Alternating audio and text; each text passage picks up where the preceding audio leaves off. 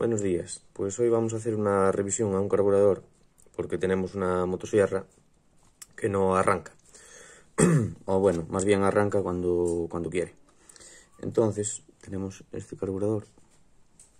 Es un Walbro. Aquí lo tenéis. Que bueno, son casi todos iguales, pero este, este sería chino. Este es original más o menos es lo mismo.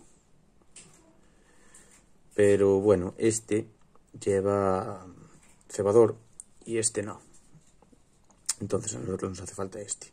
La máquina enciende cuando quiere y generalmente cuando enciende cuando está fría y después cuando ya ha funcionado un rato, pues deja de encender. Entonces vamos a desmontar aquí y vamos a ver cómo está esta lámina que lleva aquí. Así que vamos a ver. Porque generalmente suele ser eso.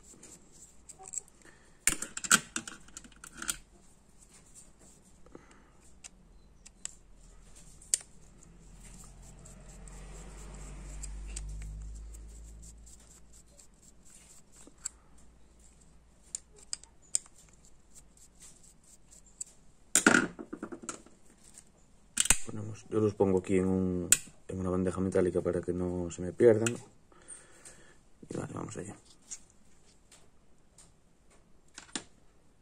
Hay que fijarse que este puntito que tiene aquí va hacia este lado. Y esta es la, la membrana en cuestión.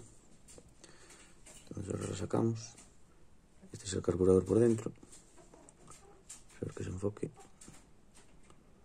Veis. Vamos a dejar aquí. Y aquí está la membrana. Que está rota. No sé si se puede apreciar en... Yo creo que aquí se aprecia. Mira, aquí. Está rota. Entonces vamos a poner una, una nueva. Vamos a poner una nueva y vemos a ver si... Es tan sencillo como eso. Quitar cuatro tornillos. Quitar cuatro tornillos. Y poner esta nueva. Mirad. Esta está bien.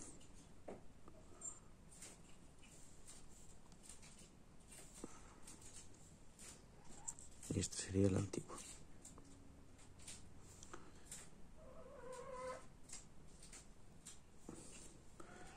Así que vamos allá. Y es simplemente eso.